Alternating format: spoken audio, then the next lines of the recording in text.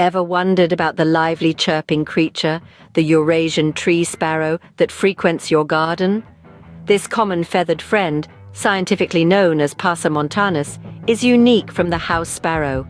So the next time you spot a small bird with a chestnut crown and nape and a black patch on each pure white cheek, you know it's the Eurasian tree sparrow. Now what makes this small bird so interesting? Well, let's dive into the world of the Eurasian tree sparrow and explore some captivating facts about this tiny creature. Firstly, these sparrows are constant patrons of their habitat, choosing to stay in the same place throughout the year. Yes, they're non-migratory, a trait that sets them apart from many of their feathered companions. So, whether it's the heat of summer or the chill of winter, you'll find them chirping away in their familiar surroundings. Now let's talk about their unique nesting habits.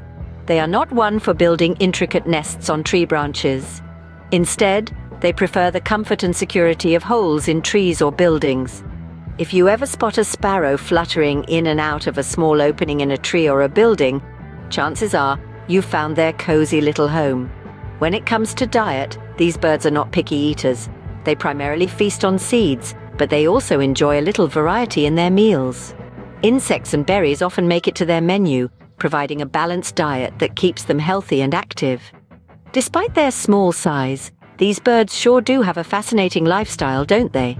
Just to recap on the Eurasian tree sparrow, these charming birds, marked by their chestnut crown and nape and cheek spots, can be found across Europe and Asia. Their diet consists mainly of seeds and insects, but they're not above a nibble on your garden plants. They're social birds, often seen in flocks, especially during the non-breeding season.